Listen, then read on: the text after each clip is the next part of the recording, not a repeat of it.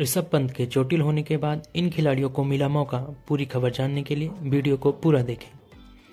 साल 2023 का आगाज़ हो चुका है। भारतीय टीम साल की पहली सीरीज़ श्रीलंका के खिलाफ खेलेगी। आगामी 3 जनवरी को मुंबई में इन दो टीमों के बीच पहला टी मैच खेला जाएगा।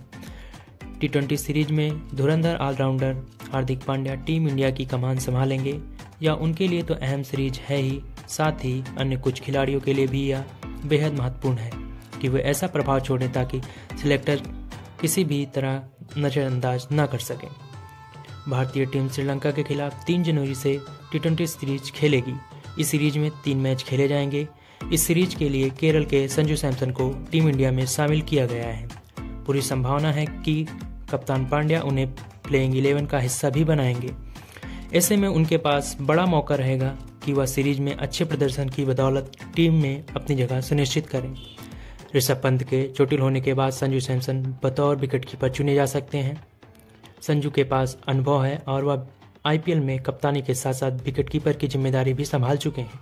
हालाँकि, ईशान किशन भी एक विकेट कीपर की भूमिका निभा सकते हैं, जो झारखंड की टीम में इसी ज़िम्मेदारी में होते हैं।